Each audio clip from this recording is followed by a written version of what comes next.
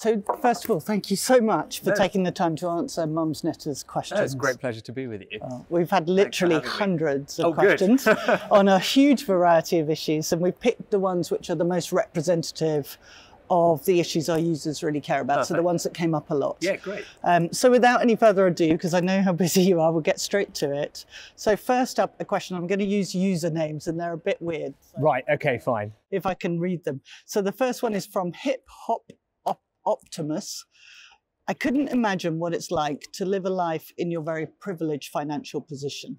How can you have the understanding and empathy about what it's like to struggle? And is it morally right for so much wealth in this country to be held by so few people? Well, Justine, I'm, you know, I'm sitting here with you talking about all of this, having this job, as the result of so many people's kindness, hard work, sacrifice throughout my life. I didn't, I didn't start like this, and you know, my if you think about it, my grandparents emigrated to this country decades ago with very little, and built a life for themselves. And my parents carried that on and wanted to work hard and give up a lot to give me and my brother and sister a, a better life. Though that was how I was raised. That was how I was brought up. And so, yes, of course, you know, now I'm in a, a fortunate position, but I didn't start like that. That's not how my family started. Mm. They put a lot in and and gave that, as I said, for me and my brother and sister. And I never forget the values that I was raised with. And actually, what I then try and do is express those values through the work I do in this job. And I'm working day and night, as I have done through the pandemic and beyond, to make a difference where I can. That's why I got into politics, actually, because country's done an enormous amount for me and my family. It's my way of, of trying to use all the things that have been given to me to make a difference. And, you know, people, I think, hopefully, can judge me on my actions. I always say I don't, I don't judge people by how much money they have in their bank account, right? I look at their character, their values, and, and how they're acting. And people could saw what I did during the pandemic with things like furlough, how we tried to get the country through that. And that's what I'm doing now. And that's what I'm focused on, trying to help people manage through some of the challenges we're seeing with rising prices.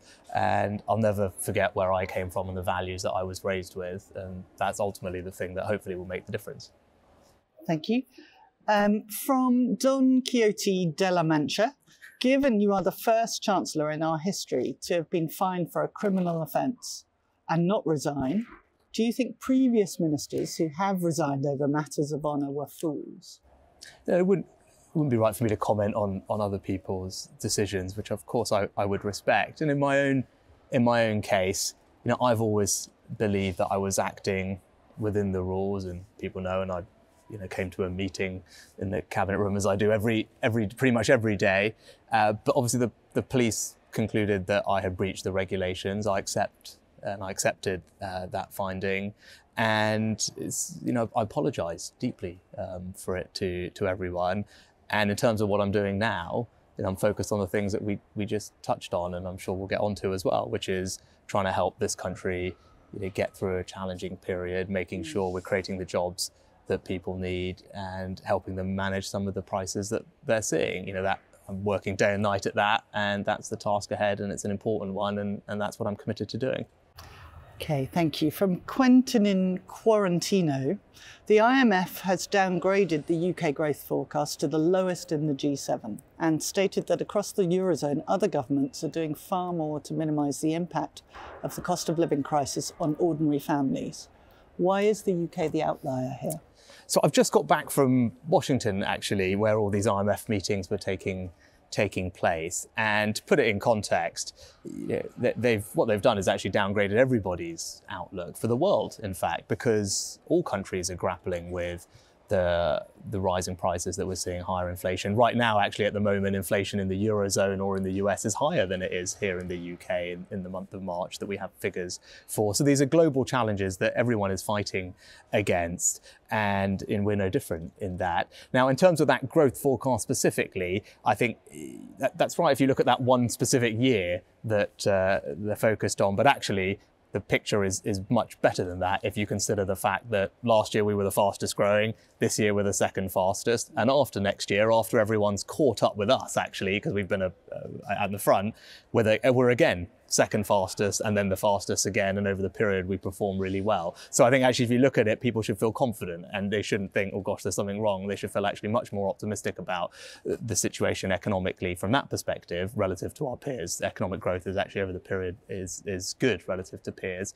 And where, you know, where we are definitely an outlier compared to the Eurozone is in employment. And so my focus has always been jobs. And I talked about that one of my earliest interviews I had in this job. I said, you know, I'm going to be focused on protecting people's jobs, helping them find new ones if they lose them, because I've always believed that's the best way to help people build a life for themselves, support their family, particularly now uh, with challenges on, on prices.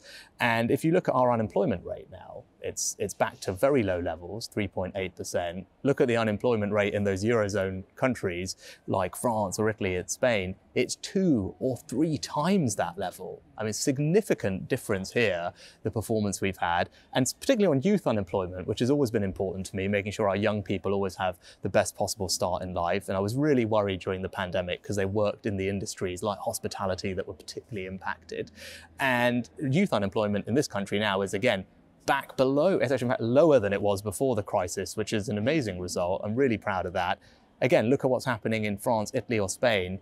You've got almost a third of people in some of those young people unemployed in those countries, right? That's the difference, right? So it's a very stark difference here versus those Eurozone countries when it comes to jobs and employment, which I think is, is the best way and the most sustainable way to help people. Okay, thank you. Lemon Swan, Swan asks, we are in a Midlands town we're in our early 30s and expecting our first child this week. When we first found out we were expecting, we did the maths. We thought it's tight but doable. But with the costs of living skyrocketing, I'm now getting very concerned. And I say this as someone who felt quite well off a year ago in comparison to my peers. If we are going to struggle, then I'm seriously concerned for those on lower wages who have less disposable income to deal with rising costs. What are your plans for helping young families in particular? Yeah, well, I think first of all, and I didn't catch the name from the from lemon, the hand. Well, first of all, congratulations! I think they're expecting a first child uh, this week, so that's exciting. I remember what that felt like. So I hope they have, as I said, better luck with uh, sleeping and all the breastfeeding than, than we did in those early days. But um, you know, it's such an exciting time in someone's life, and actually, it, it's families like that. Was why I got into politics, uh, and you know, I have relatively now young kids, not that young, and you know, so helping families like that through some of the challenges they face is, is what motivates me in this in this job every every day.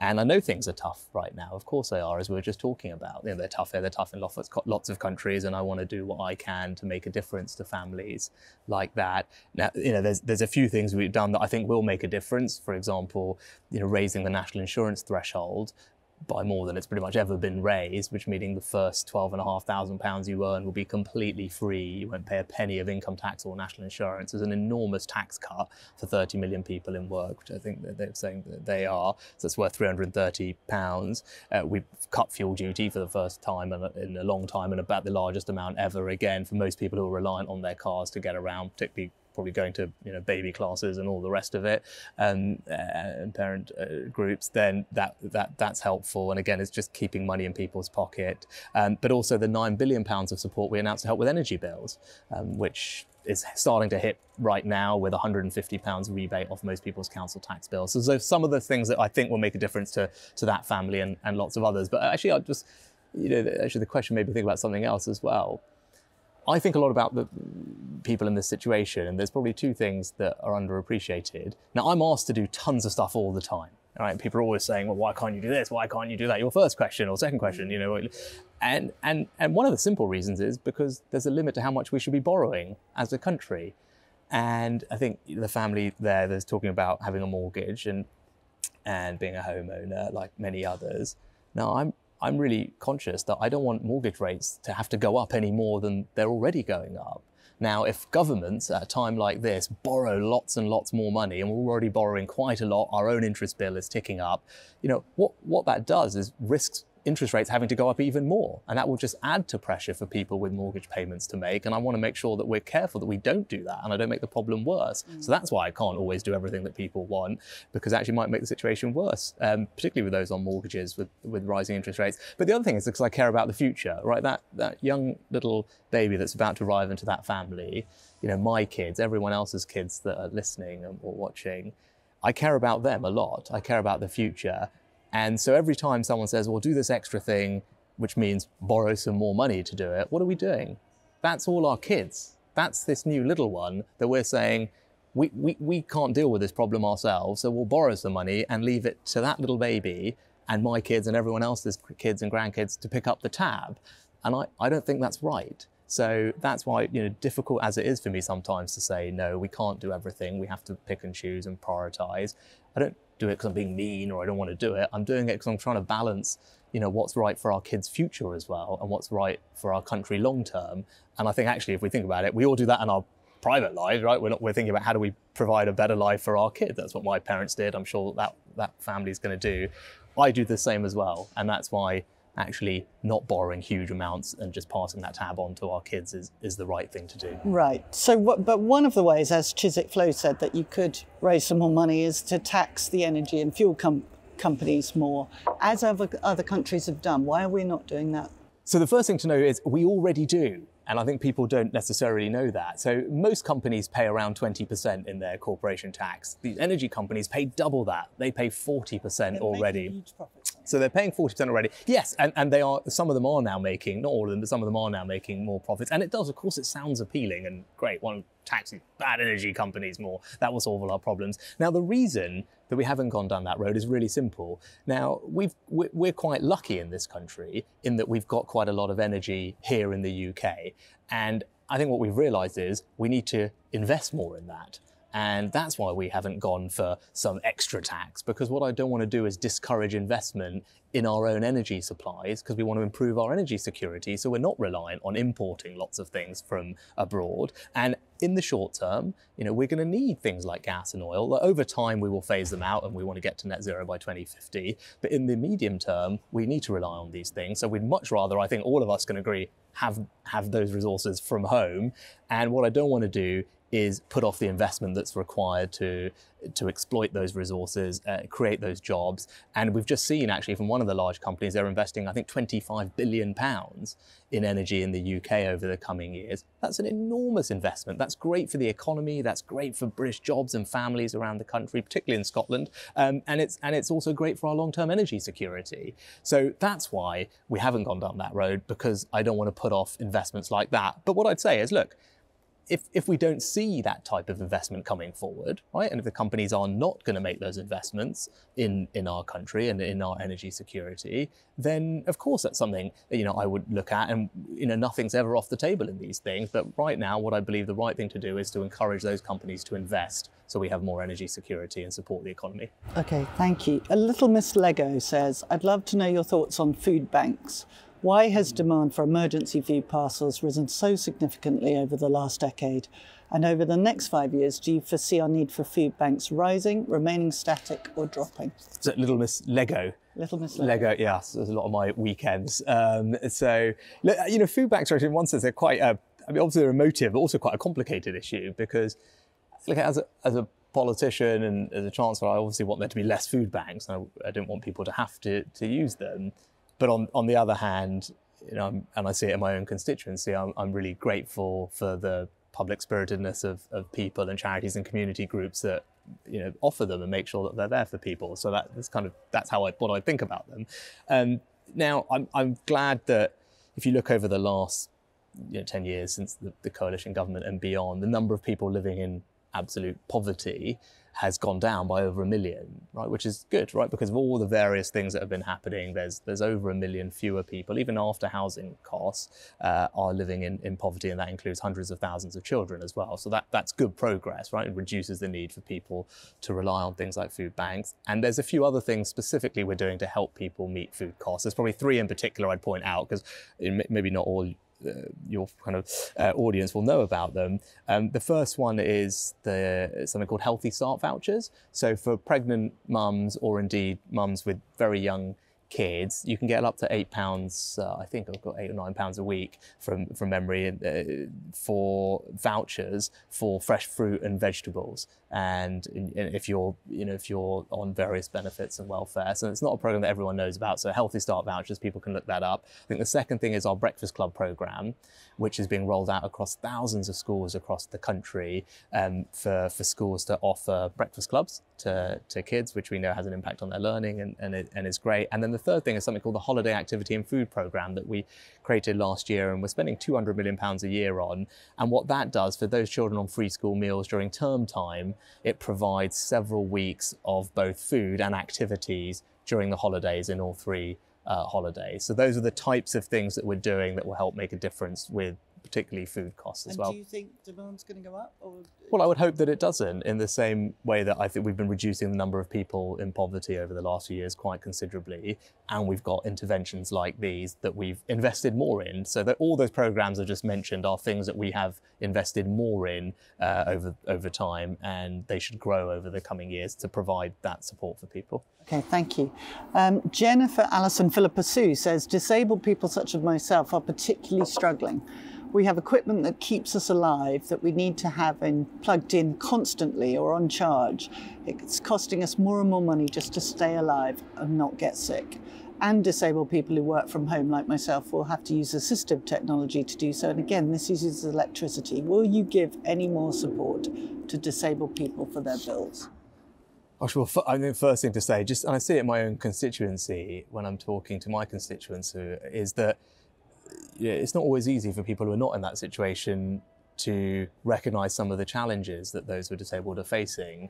And you know, it's benefit of being a constituency MP is just being able to listen a lot and learn from people's experience. And I think the other thing that comes from that is when it comes to people with disabilities, it's sort of wrong to lump them all in one one group actually, because everyone has quite different challenges that they're grappling with, even though they all come under the banner of, of being people with disabilities. So those are kind of first couple of things uh, to say. Now, in terms of things that we can do to help, I think energy bills, um, you know, was mentioned. You know, as we talked about the nine billion pounds of support that there's already out there that we've put for energy. We've said we'll see what happens with the price cap in the autumn. Now, I know people are anxious about this and wondering if they're going to go up even more. And I've always been clear from the beginning is look, we'll see what happens. And then depending on what happens to bills, then of course, if we need to act and provide support for people, we will. I've, I've always said that. But it would be silly to do that now or last month or the month before when we don't know exactly what the situation in the autumn is going to be. So I, would say just, you know, let, just we'll see where we are with that if, if we need to do do more. And then the other things that we're doing, I mentioned your, I, there was many names, Jennifer, uh, that's why, um, she was, you know, she was working and that's brilliant because this one thing we want to do a really good job of is making sure people can work um, with their disabilities. And we're spending a billion pounds uh, over a billion pounds over the next few years over this parliament to support those with disabilities into work, which is great. And then they will benefit from the tax cut that we talked about. It's coming in in July, the raising of the national insurance primary threshold. There's an extra 330 pounds for, for most taxpayers. So that will help, um, which is great. And we're doing other things as well, like improving uh, something called the Disabilities Facilities Grant, which, uh, you know, lot, when I see in my own constituency, lots of people with disabilities, disabilities want to be able to live independently in their own homes. And actually we have a fund fund that means we can make adaptations and improvements to their homes to support that kind of living. Um, and again, we're putting more money into things like that as well. So there's a range of different things. And Thank you. Um, Daphne or Velma, what steps is the government taking to ensure affordable childcare is available for new parents who wish to return to work? I'm thinking particularly of parents of children under one or two to whom some of the current childcare policies, e.g., the free hours, do not apply. Yeah, so I know that this is, is such a challenge. I know, and I've, I have young kids, and, uh, and it, one of the great successes we've had over the last several years is being able to support more women to work who want to work and balance with childcare because they disproportionately are the ones that are impacted by this. And if you look at our track record on this relative to most other countries and actually relative to our history, it's, it's good in being able to enable exactly exactly that. Now, we have three different, I guess, schemes that are in place, and they're not always well understood, although your person there does understand them. It's, it's probably worth just running over them uh, to make sure people are aware of what's out there. So for those on, on uh, universal credit, so those on lower incomes, actually the system reimburses 85% of all childcare costs up to about £13,000 from memory. So there's a huge amount of support within for those on the lowest incomes to actually, as I said, to reimburse almost 100%, 85% of all their childcare costs up to this quite generous cap, £13,000. Um, so that's that's for those people, and that applies, I think, universally for all ages. Now the second thing, which is as as um, as I think she was saying, we have these various policies in place to provide free childcare, 15 hours for those three to four year olds, an extra 15 hours to make it 30 if, if parents are in work, and then another 15 hours for disadvantaged families with two year olds. So that starts to get into that area that I know um, people are interested in.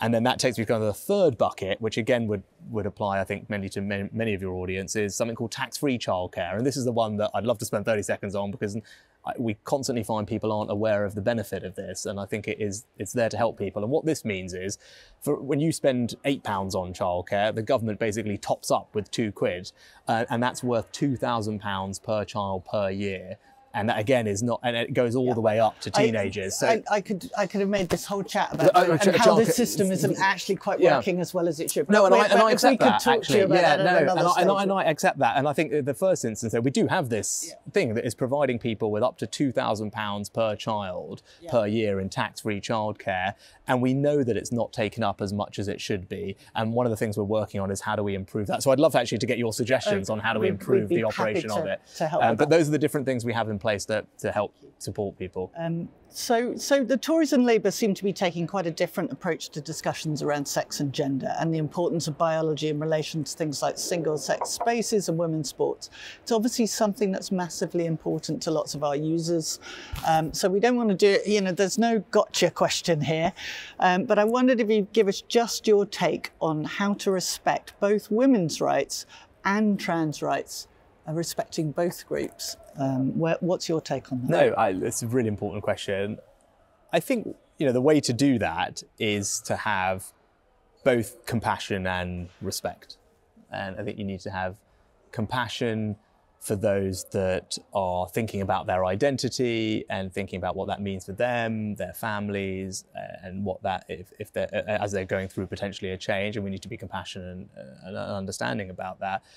And we also have to have respect. We have to have respect in particular for people's views, but particularly those views, I think, of women who are anxious that some of the things that they fought really hard for and, that rights are important to them would be eroded uh, as well. And we need to have respect for that point of view.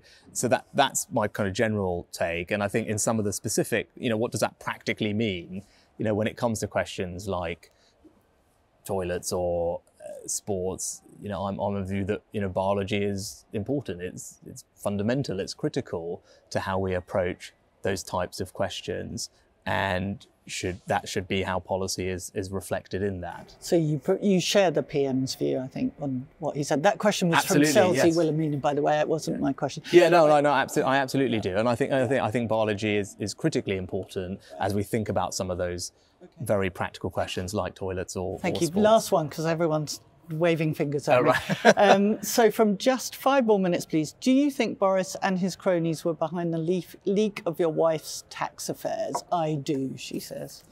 I, I, I don't. Okay, thank you. That was very. Um, um, well, I, I can't go without our last question, our hardy perennial on Mumsnet. Your favourite biscuit is it? Oh right. Oh, it's actually it is one of these ones. Yeah, these are my these Maryland cookies are my favourite. Okay. Which I this is earlier than I normally have them in the day, so this is. Well, you can take them home me. and have them. Well, I will. Thank you for thank you. I will certainly. I have one of those most days actually. I might with my. Uh, I know people always like to take the mick out of me for my uh, Peloton that I I use, but the, the reason I have to use this Peloton is because I'm constantly constantly eating either, you know, cookies or cake. 20 minutes days. Peloton, five cookies, something like that. Yeah. Oh, well, actually, that if that's the ratio, that's good. I can eat more cookies then. I, that, I thought it was worse than that, but good. Thank you so much for taking nice the time. Thanks for having me. Much appreciated.